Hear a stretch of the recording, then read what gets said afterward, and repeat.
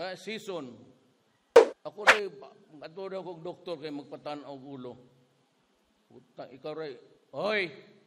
Season, og bright ka sa ako, ikay presidente ron rin Pilipinas.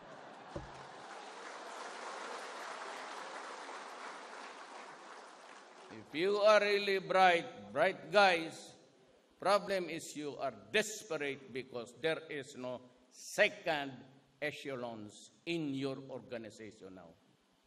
Wala na yung mga intellectual, yung puro tigo lang. Kayo na umaasa na mag-usap pa tayo. Usapon ta ka. Dili, dili tayo mag-usap.